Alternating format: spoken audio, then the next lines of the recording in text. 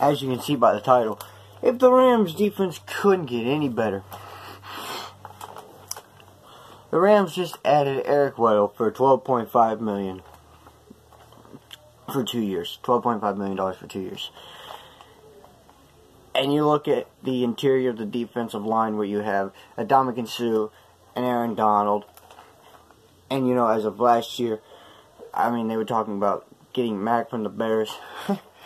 Just imagine last year getting Mack from the Bears, and Weddle ended up some way somehow going to the Rams. I don't think there's any way you could sit there and honestly say that if that was the bulk of the Rams defense with the other pieces that they have, that the Patriots would have won the Super Bowl without it being scripted. I love Tom Brady, but, and I'm not a Patriots fan, but I don't ignore the Warriors shirt. I'm not a Warriors fan. Don't you worry. but, you know, it's just that defense. If they would have had Mack, Weddle, Donald, Suh, you just you can't sit there and say unless it was scripted that the Patriots would have won that game. But anyway, let's get know into you know the good stuff. You know, just that was something I thought of there real quick. It's like that would have been too good of a defense. I don't care if you're Tom Brady, whatever. But anyway, as I stated in the opening of this video, if the Rams defense couldn't get any better, as as if you thought their defense couldn't get any better, they added one of the best free safeties in the game, and probably in the history of the game as well. You know, I know he's getting up there in age, but man. So I mean, you know, for the Rams, you know they have a high-powered offense. Their defense just got better. I know you know what gets worse for everybody in the uh, everybody else in the league? Not only did they sign Eric Weddle, but and this is something I want you all to think about. Not only did they just sign Eric Weddle, but apparently from what I'm hearing and what I see online, the defensive line for the draft is stacked. Imagine one of the top five defensive sliding all the way down to 31 to the Rams. Or say if the Rams were like, well, you know, none of the top five guys deep on the defensive line are still going to be there at the 31st pick. Imagine if the Rams trade, you know, a small little piece, um, take it, take it up a little earlier in the draft to get one of those top five defensive linemen, more like top five defensive ends. How could they not be the favorite for next year? I know they lost in the Super Bowl. And, you know, I don't want to sit here and say how could they not be the favorites, but it's just when you look at that defensive line already, look at the linebacking corps, it could be better. You know, so say they somehow trade to get, you know, a semi better, you know, linebacker. I mean, Littleton's amazing, but, you know, he could be better. And on top of that, trade or or get a, a linebacker in free agency and on top of that, trade up to get one of the defensive linemen. Preferably defensive. You're looking at probably one of the most stacked defenses in NFL history if that is the way, you know, the Rams are going towards.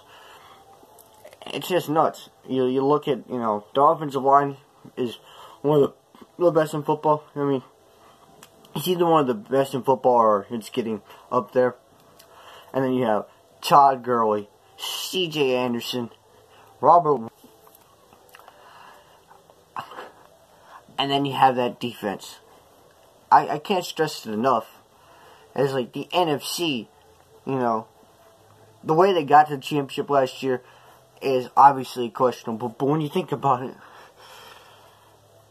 the way this defense might shape up, you could I could see them in the NFC Championship game next year, and in the.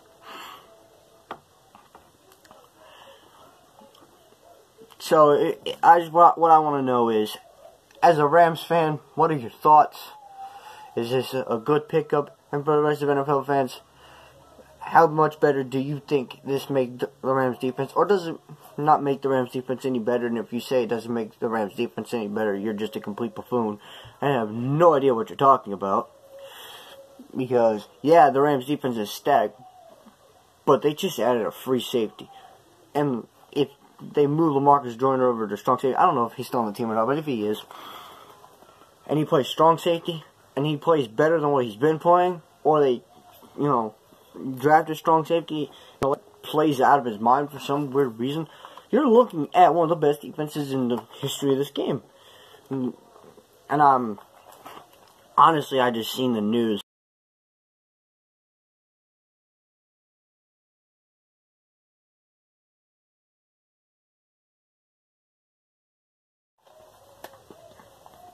As I was saying before, I was really interrupted because, you know, I'm on my phone, so, you know, phone storage, you gotta do what you gotta do. But anyway, as I was stating, this defense, if you, you know, get a better strong safety, or if they do still have Lamarcus Joyner, and he plays strong safety, and he plays better than what he's been showing recently, or this year, and then you have Eric Weddle, who is one of the best safeties in the game, with that interior defense, get a better linebacker, either get a better linebacker in the draft, free agency, whatever, and then you trade up to get one of those big defensive lineman names, and they pan out to be a beast, you're looking at, like I said, and I will repeat myself, like a fantasy defense. Like you remember the Ravens defense of the 2000s, you know. I mean, even though they weren't performing up to par in the playoffs in 2012, the Ravens defense from 2012, because they still had Ray Lewis, Ed Reed, guys like that. You're looking at a type of defense like that. If, you know, you get this signing, you get one of the bigger guys up front from the draft, you find a better linebacker. Now, I'm not saying Littleton's not a good middle linebacker. He's a fantastic uh, little player, little ball player. But if you get a better linebacker, you know, from free agency or whatever you can come up with to get a better linebacker, you're, you know, you're looking at a fantastic defense that, you know, will probably put up unbelievable like defensive numbers.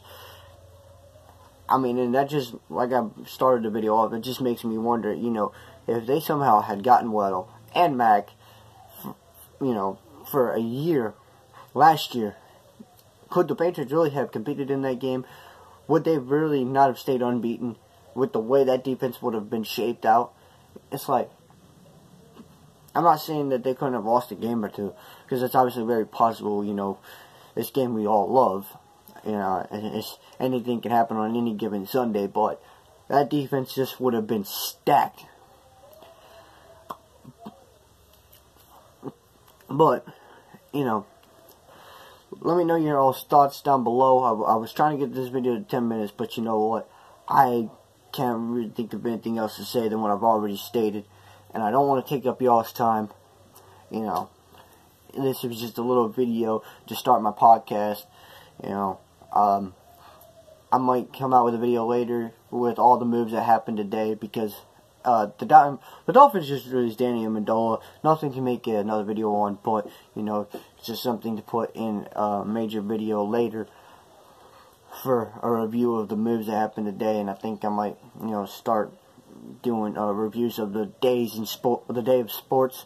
You know, so you might get that review later after all the NBA games go off the air or whatnot.